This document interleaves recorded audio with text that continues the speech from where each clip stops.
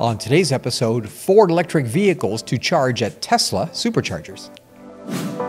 Today's episode is brought to you by Engineering.com, a globally trusted source for engineering content. Check out this and many other exclusive videos for the engineering professional found only on Engineering.com TV today.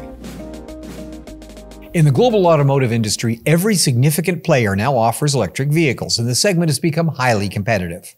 Ford and Tesla are strong competitors, and in a surprise move, the companies announced that starting early next year, Ford EV users will have access to Tesla superchargers across the US and Canada, adding over 12,000 charging points to Ford's existing Blue Oval DC fast charging network of 10,000 units across North America. Now, users will access Tesla superchargers through Ford software and will initially use an adapter to connect Tesla's NACS plug to Ford's existing CCS vehicle socket. Ford F-150 Lightning, Mustang Mach-E, and E-Transit vehicles will be the first to ship with the adapters. Starting in 2025, Ford EVs will ship with NACS sockets built in, eliminating the need for an adapter.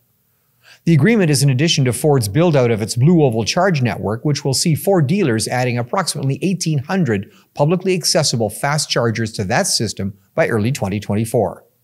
The lack of interchangeability between Tesla and CCS charging stations has been cited by many as a major obstacle to widespread adoption of EVs in the light vehicle segment. The Tesla standard represents the largest single network, charging the best selling single electric vehicle brand, but CCS is used by the majority of electric vehicle automakers.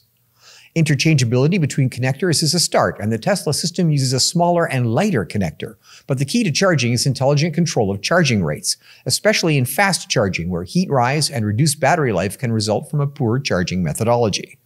The software is key, both for engineering reasons and for the very valuable data that can be scraped from any network that can identify individual vehicles and their use patterns nationwide.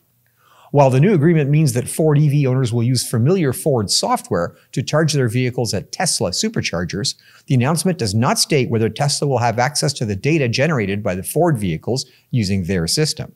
The benefits for Ford owners are obvious.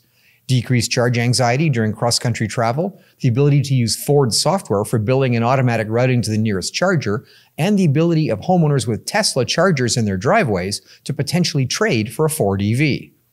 It's unclear at this time whether the additional Ford vehicle traffic at Tesla superchargers will upset Tesla owners, and the agreement is notably not reciprocal, so Tesla owners will not have access to Ford's Blue Oval network.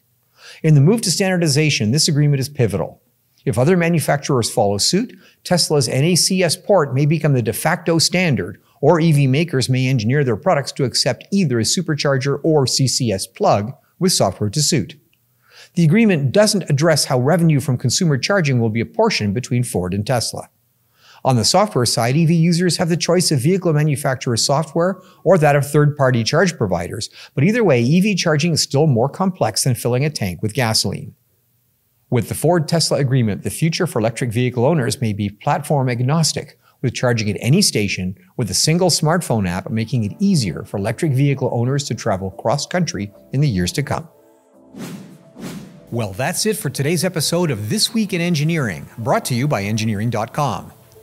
For our deeper engineering series, visit Engineering.com TV for exclusive shows like Manufacturing the Future, Designing the Future, and the Engineering Roundtable, not found on our YouTube channel. The links are in the description below. Thanks for watching.